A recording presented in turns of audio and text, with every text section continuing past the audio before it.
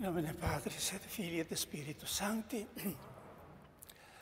Pater noster, qui es in celis, sanctificetur nomen tuum, adveniat regnum tuum, fiat voluntas tua, sicut in cielo et in terra. Panem nostrum quotidianum da nobis odie, et dimite nobis debita nostra, sicut et nos dimitimus debitoribus nostris, et ne nos inducas in tentationem, sed libera nos a malo. Amen.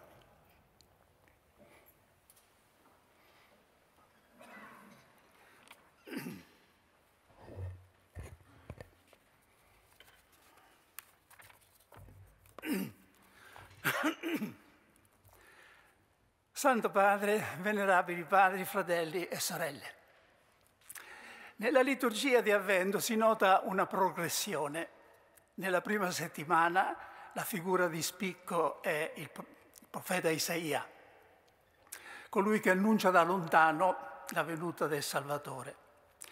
Nella seconda e terza domenica la guida è Giovanni Battista, il precursore. Nella quarta settimana l'attenzione è tutta concentrata su Maria.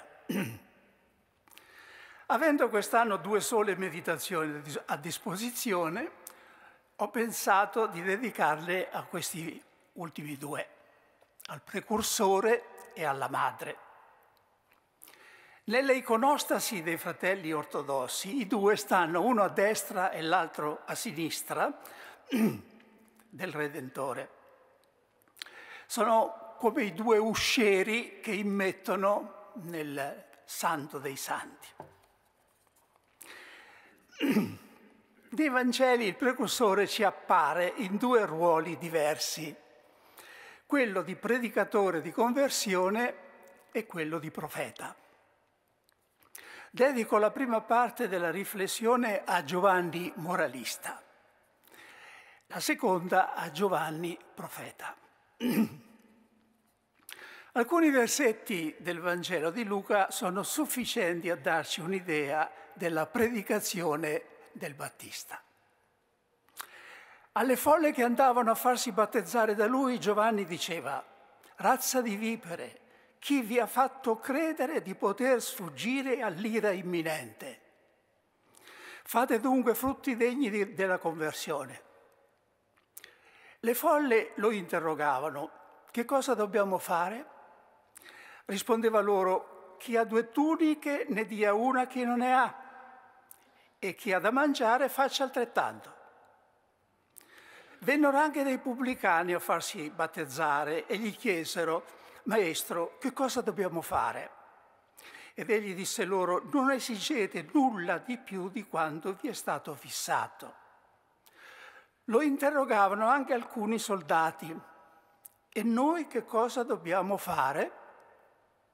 Rispose loro, non maltrattate e non estorcete niente a nessuno, accontentatevi delle vostre paghe. Il Vangelo ci permette di vedere cosa distingue su questo punto la predicazione del Battista da quella di Gesù. Il salto di qualità è espresso nel modo più chiaro dallo stesso Gesù. la legge e i profeti fino a Giovanni. Da allora viene annunciato il regno di Dio e ognuno si sforza di entrarvi. Dobbiamo guardarci da semplicistiche contrapposizioni tra legge e Vangelo. Subito dopo l'affermazione appena citata, Gesù, o almeno l'Evangelista, aggiunge è più facile che passino il cielo e la terra anziché cada un solo trattino della legge. Il Vangelo non abolisce la legge, cioè concretamente i comandamenti, ma inaugura una relazione nuova e diversa con essi, un modo nuovo di osservarli. Ciò che è nuovo è l'ordine tra il comandamento e il dono cioè tra la legge e la grazia. Alla base della predicazione del Battista c'è l'affermazione Convertitevi e così il regno di Dio verrà a voi. Alla base della predicazione di Gesù c'è l'affermazione convertitevi perché il regno di Dio è venuto tra di voi. Ricordiamo l'affermazione appena citata, la legge e i profeti fino a Giovanni. Da allora in poi viene annunciato il regno di Dio. Non è una differenza solo cronologica, come tra un prima e un dopo, ma anche una differenza assiologica, cioè di valore. Vuole dire che non è l'osservanza dei comandamenti che permette al regno di Dio di venire, ma è la venuta del regno di Dio che permette di osservare i comandamenti. Gli uomini non sono improvvisamente cambiati e diventati migliori di prima, sicché il regno è potuto venire ad essi. No, essi sono quelli di sempre, ma è Dio che nella pienezza dei tempi ha inviato il suo figlio dando loro la possibilità di cambiare e vivere una vita nuova. La legge infatti fu data per mezzo di Mosè, ma la grazia, si intende di osservarla, viene da Gesù Cristo. Amare Dio con tutto il cuore è il primo e più grande comandamento, ma l'ordine dei comandamenti non è il primo o il, primo livello. Sopra di esso c'è l'ordine del dono. Noi amiamo perché Egli ci ha amato per primo. È interessante vedere come questa novità di Cristo si riflette nel diverso atteggiamento del Battista e di Gesù nei confronti dei cosiddetti peccatori. Giovanni, abbiamo sentito, investe i peccatori che vanno da lui con parole di fuoco. È Gesù stesso che fa notare la differenza su questo punto tra lui e il precursore. È venuto Giovanni che non mangia e non beve dicono è indemoniato. è venuto il figlio dell'uomo che mangia e beve dicono ecco mangione e un beone, un amico dei pubblicani e dei peccatori. Come mai il vostro maestro mangia insieme ai pubblicani e ai peccatori? dicevano i farisei ai suoi discepoli. Gesù non aspetta che i peccatori cambino vita per poterli accogliere, ma li accoglie e questo porta i peccatori a cambiare vita. Tutti e quattro i Vangeli, Sinottici e Giovanni, sono unanimi su ciò. Gesù non aspetta che la Samaritana metta ordine nella sua vita privata prima di intrattenersi con lei e chiederle perfino da bere ma così facendo ha cambiato il cuore di quella donna che diventa una evangelizzatrice tra la sua gente. La stessa cosa avviene con Zaccheo, con Matteo, con la peccatrice anonima che gli bacia i piedi in casa di Simone, con l'adultera. Non possiamo trarre da questi esempi una norma assoluta. Gesù era Gesù e leggeva nei cuori noi non siamo Gesù. La Chiesa non può prescindere tuttavia dal suo stile senza ritrovarsi al fianco di Giovanni Battista anziché a quello di Gesù Cristo. Gesù disapprova il peccato infinitamente di più di quanto fanno tutti i più rigidi moralisti di questo mondo, ma ha proposto nel Vangelo un rimedio nuovo non la, l'allontanamento, ma l'accoglienza. Il cambiamento di vita non è la condizione per accostarsi a Gesù nei Vangeli. Deve essere però il risultato, o almeno il proposito, dopo essersi accostati a Lui. La misericordia di Dio, infatti, è senza condizioni, però non è senza conseguenze. Su questo punto la Santa Madre Chiesa ha molto da imparare dalle madri e dai padri di famiglia di oggi.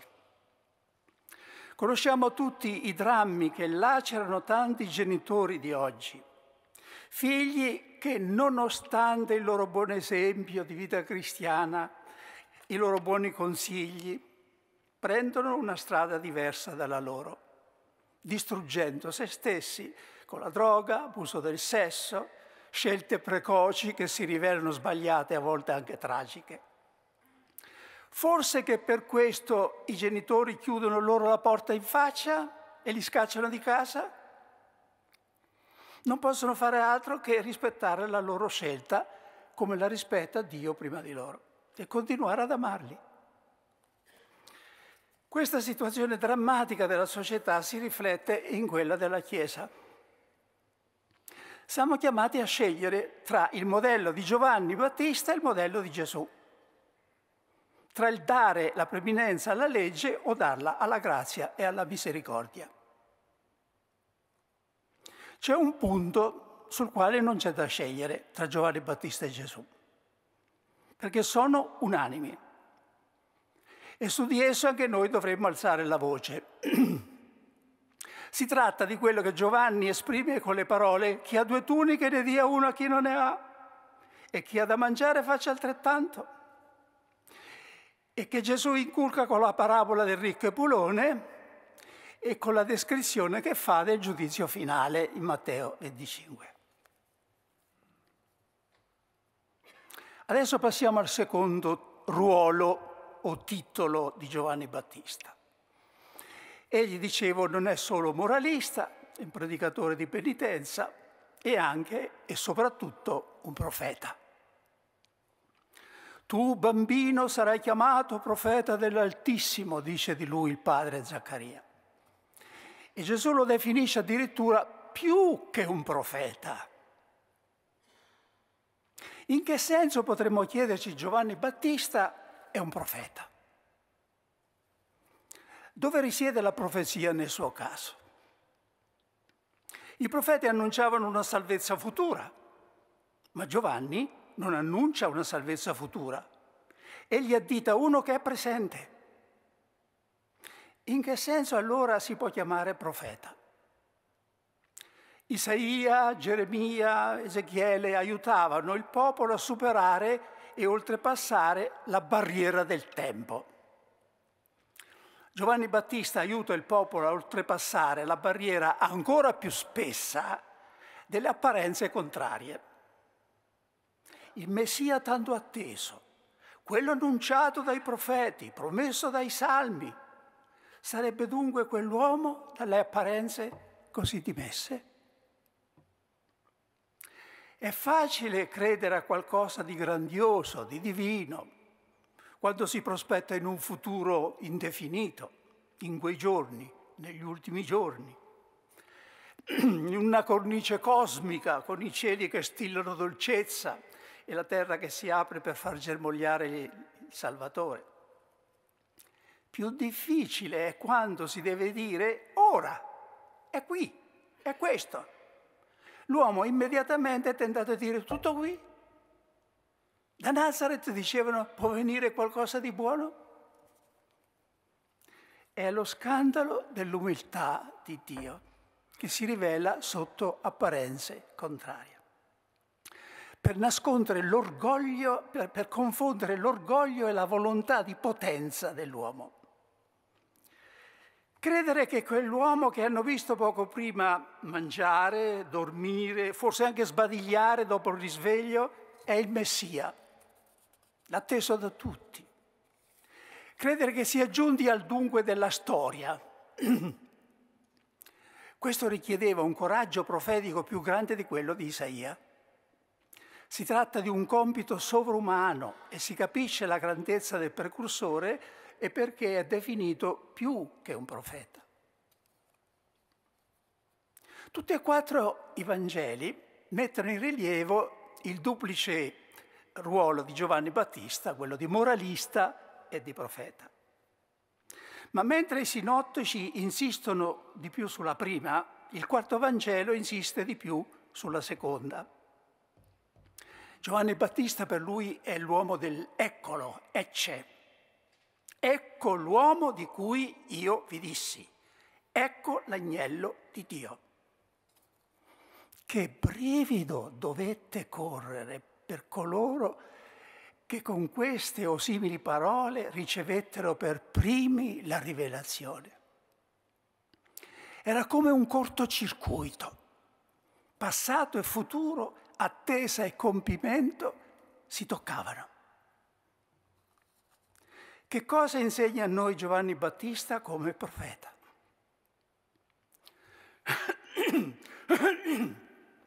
Io credo che egli ci ha lasciato in eredità il suo stesso compito profetico, dicendo in mezzo a voi c'è uno che voi non conoscete, ha inaugurato la nuova profezia cristiana, che non consiste nel rivelare, nell'annunciare una salvezza futura, ma consiste nel rivelare una presenza nascosta, la presenza di Cristo nel mondo e nella storia. Consiste nello strappare il velo dagli occhi della gente, quasi gridando con parole che riecheggiano quelle di Isaia, Dio ha fatto una cosa nuova, non ve ne accorgete, non ve ne accorgete.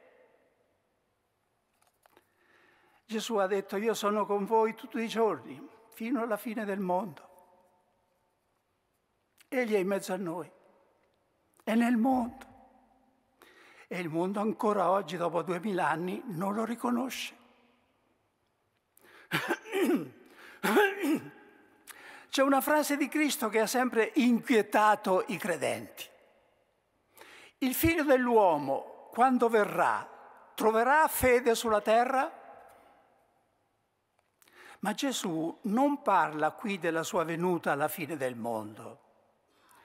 Nei cosiddetti discorsi escatologici si intrecciano due prospettive, quella della venuta finale di Cristo e quella della sua venuta come risorto e glorificato dal Padre.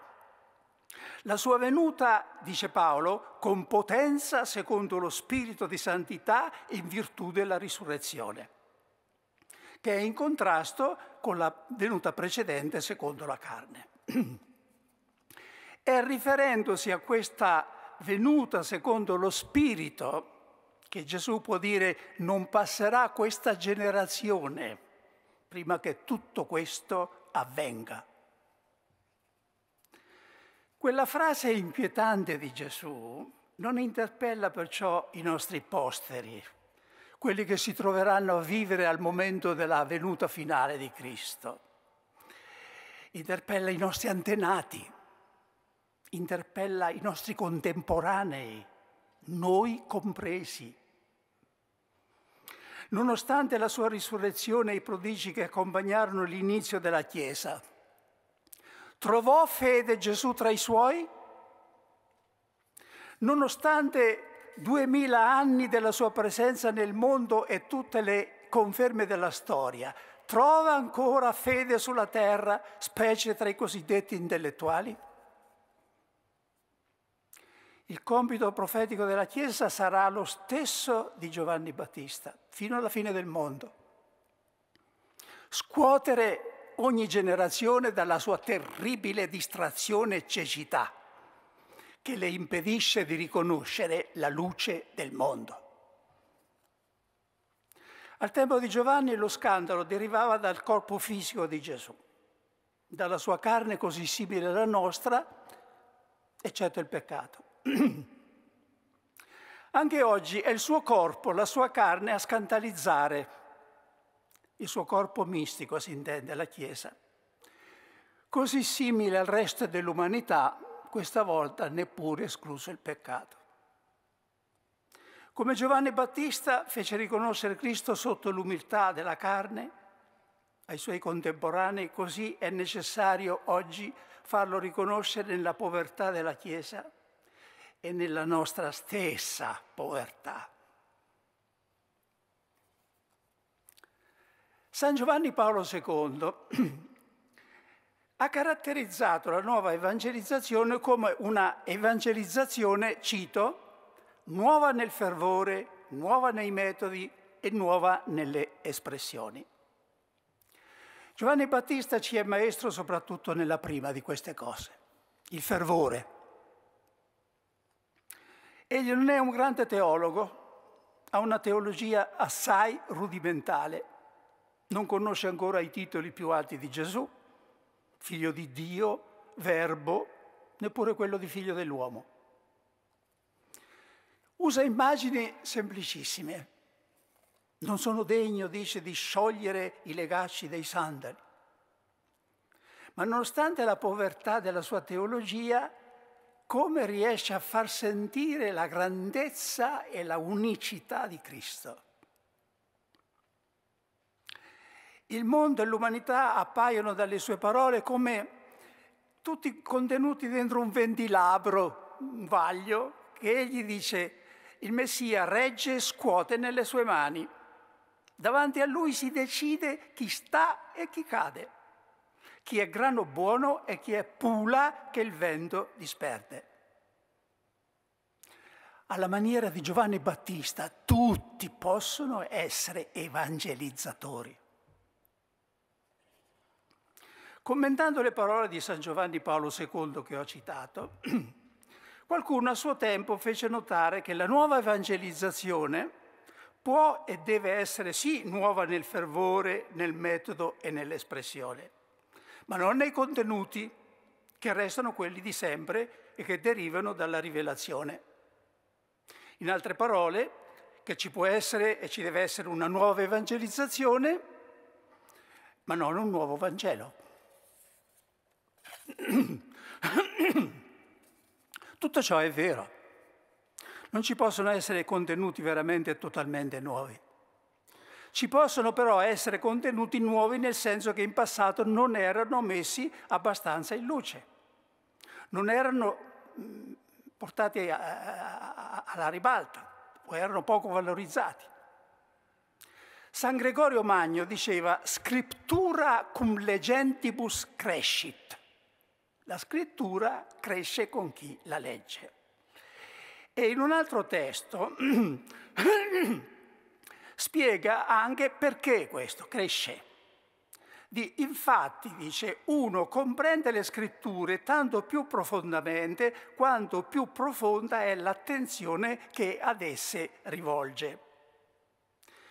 Questa crescita si realizza anzitutto a livello personale, nella crescita di santità, ma si realizza anche a livello universale, a misura che la Chiesa avanza nella storia.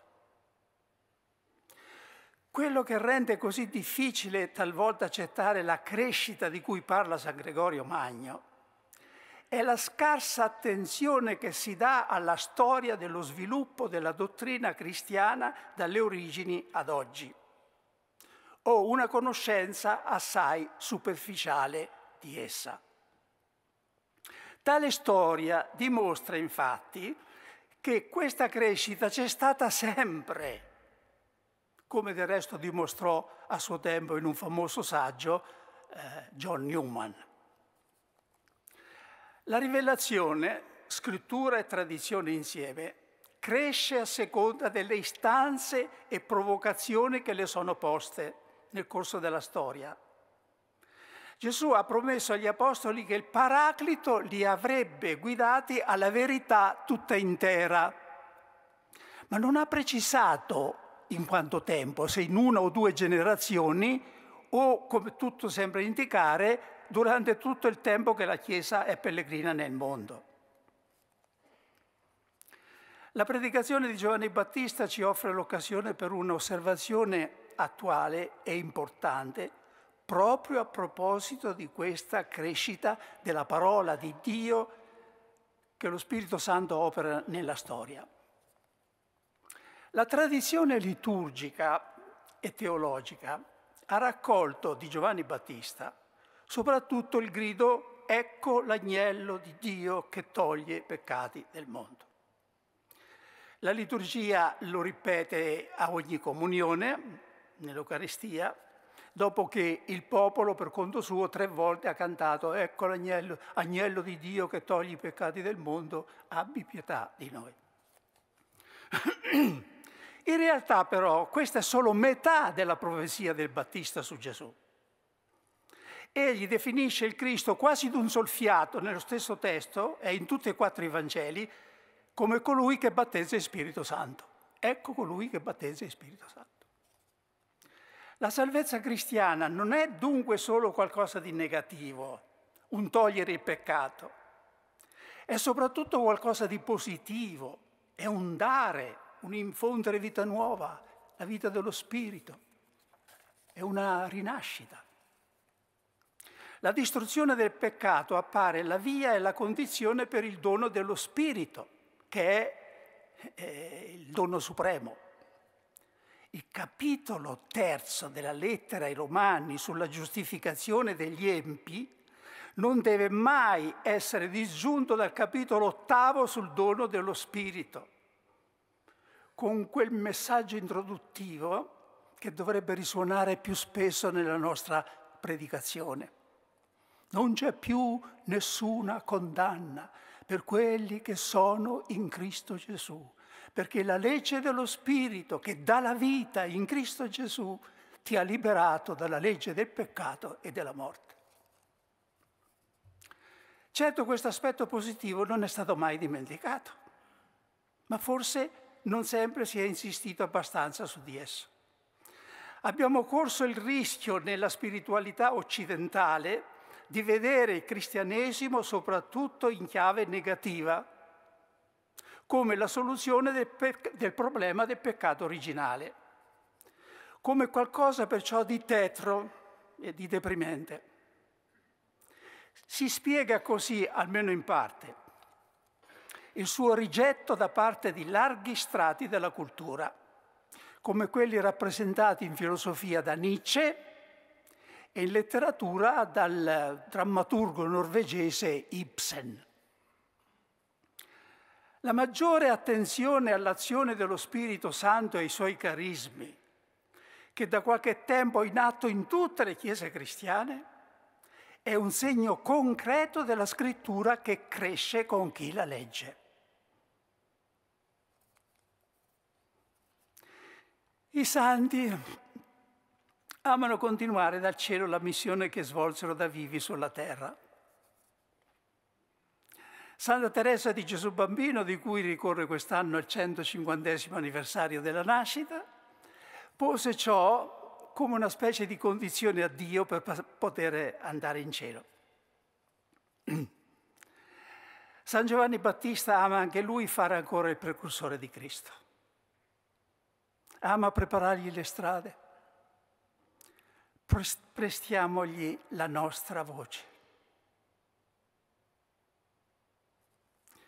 Contemplando nella Deesis l'icona del precursore con le mani protese verso Cristo e lo sguardo supplice, la Chiesa ortodossa rivolge a lui questa preghiera che possiamo fare nostra. Quella mano che ha toccato il capo del Signore e con la quale ci ha indicato il Salvatore, stendila ora, o oh Battista, verso di lui in nostro favore in virtù di quella sicurezza di cui godi largamente, poiché, secondo la sua stessa testimonianza, tu fosti il più grande di tutti i profeti. Gli occhi che hanno visto lo Spirito Santo disceso in forma di colomba, volgili a Lui, o oh Battista, affinché Egli ci manifesti la sua grazia. Amen. Nel nome del Padre, del Figlio e dello Spirito Santo.